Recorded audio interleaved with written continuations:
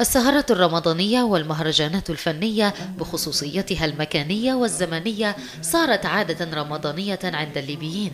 انطلاق مهرجان ليالي البيضاء الرمضانية للثقافة والفن والإبداع التي يقدمها المركز الإعلامي ليبيا الحرة وفرقة الغد المسرحية حيث تستمر لمدة عشرة أيام يقدم من خلالها العديد من الفقرات كالأمسيات الشعرية والفنون التشكيلية وعرض الأشرطة والأفلام القصيرة وأمسيات في الشعر الغنائي. ننطلق في مهرجان ثقافي فني أدبي يتناول عدة مناشط مدة عشر أيام للنخبة في مدينة البيضاء والجبل الأخضر في صفة عامة.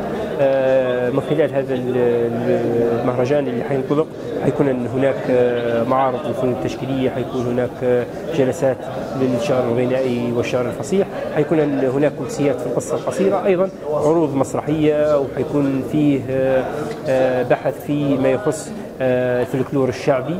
اليوم الأول يشهد افتتاح معرض الفنون التشكيلية حيث يهدف القائمون على هذا المهرجان إلى النهوض بالجوانب الثقافية والفنية ومد جسور التواصل بين الشرائح المختلفة من النخب الثقافية والفنية في المدينة. الجلسة الأولى من ليالي رمضان.